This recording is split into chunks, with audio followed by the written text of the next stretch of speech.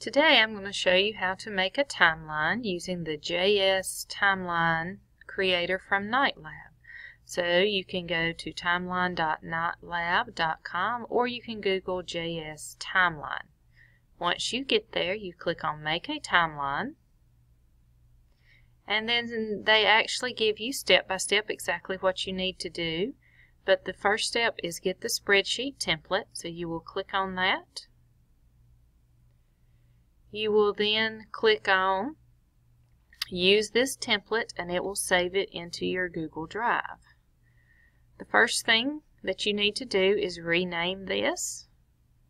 If you think you're going to do more than one timeline, you might keep this and then make a copy of it. So let's go ahead and just rename this Civil War.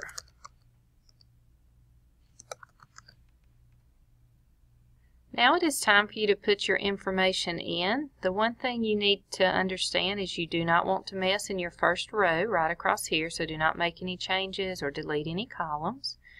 You cannot have any empty rows, so be very careful if you add rows that you do not add a thousand. So if you need to add more, make sure you change that to however many you need. And then you can click on add and it will add an extra row down here at the bottom. Your year is where you put in the year. So we will continue this one since I added one. I can't leave it empty. We will make this 2015. We will make it January 26th. I'm going to leave all this blank. This is if you wanted a beginning and year end time. You can also do just a display date if you wanted to highlight a date. Headline, big snow. You can put in your text. This was a record snow in North Carolina, which I'm making all this up. Alright, under media is where you actually put a link to images. So if I want to come over here and I want to type in Big Snow, North Carolina, and let's see what we get under our images. Make these images and to stay within copyright I am going to go to Tools, Usage Rights, labeled for reuse. And that gives us the ones that we can legally use. So let's use this one. This was actually in Virginia, but we will use it for our picture. You would want to make sure that your picture is appropriate for what your topic is. I'm not sure that we're going to find any in North Carolina, but let's look a little bit more and let's see where was that one. It doesn't really tell us. Alright, so we're going to actually click on the image.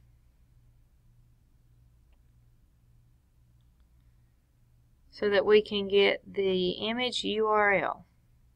That's what needs to go in your timeline. There we go. You're going to right click on it. Ooh, this one's a little different. Let's go back. You should, most pictures you can right click on them and it will say copy URL. This particular one did not work. So let's go back and let's see if we can find one that will so you can see how that will work. Let's look for another picture. Not a lot of good ones, are there? Alright, let's go back to this one that was in Virginia with Wikipedia. So we open the picture as I was saying. And that will happen sometimes that you may have to go get a different picture. And it's showing us all the way the weather system occurred. And let's get down here to our actual picture. One in Tennessee. There's our picture we wanted. Okay, so there's our picture. We're going to right click on it. Copy image address is what we want. So we copy it. We are then going to come right here and we are going to paste it. So there it is. Now, media credit. As the website was saying, you need to give credit. Okay. Now in this one, you can give credit here. Right there's the address. So you're going to copy it. I'll go back over to your timeline. You can type in Wikipedia, or you could put that whole long address, whichever way, but you want to give credit to where it came from. Media caption, Big Snow in North Carolina. All the rest of this you will leave blank. If you want to do a background, if you scroll over this, you'll see you can go Google hexadecimal colors and put in that code and it will change your background color. So let's go make sure we don't have any blanks and we will get started to actually publish this and make it a timeline. So there's no date here. Let's go ahead and put in 2010. Let's make this one June 30th. Alright. Now this step has changed a little bit, so if you've made done this in the past, you may notice a change. You're going to go to File, Publish to the Web, and you want to publish. Say OK. Used to, you would copy this address. They've changed it. You come up here and copy. So you can Control C, or you can right click, once it's highlighted, you have to make sure all the address is highlighted. You can right click and copy. Go back over here to the KnightLab and you see here, if you forget, it tells you step by step and it says the difference that it's made. You're going to come down here and you're going to either right click paste or control paste and you can see your address should look similar to theirs. Then you want to get link to preview. And there is our timeline. So there's the ones they had done at the beginning. And if we continue to go through, we will see that there's the one we did with our image, giving credit, our caption, the date, title, and there's our information. You may have noticed as you go through here, you can also do a YouTube. So you can also put videos in here as well if you choose to. And the way you would do that, you would just go under media and put the YouTube right here you see one address. Alright, we've got one final step. You want to copy this address. I'm on my timeline that I was looking at. You want to do Control C or right click and paste. You want to go back to your spreadsheet.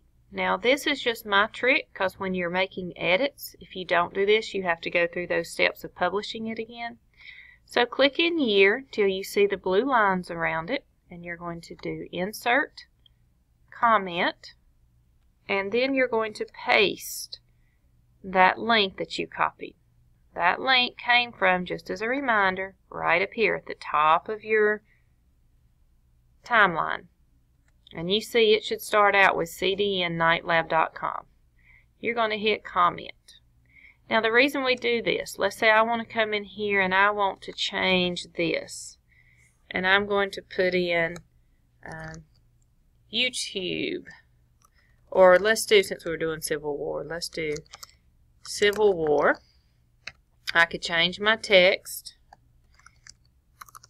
Here is a video on the Civil War. Make sure you spell things correctly. It does not spell check. So then we are going to go to YouTube. Make sure you have previewed your video so you know exactly which one you want. So watch them. Just don't click on one and put it in. We're going to put in Civil War. Find the one that you want. Let's do this historical documentation of the Civil War. Let it finish loading. You'll come up here, copy the address, Control C, right click and copy. Put it on the correct line that you want it. Control V, you see the date changed, or the address changed, excuse me, right there to YouTube. It's automatically saving. Now I want to see did it take in my timeline. So I hover over year. I click on the web address. I have my updated timeline and let's see if our YouTube video worked. There we go. And there's our YouTube video and now it will play. So that's how you do a KnightLab timeline. If you have any questions, be sure to let us know, but hopefully that will help you out and hopefully you will enjoy working with the YouTube timeline.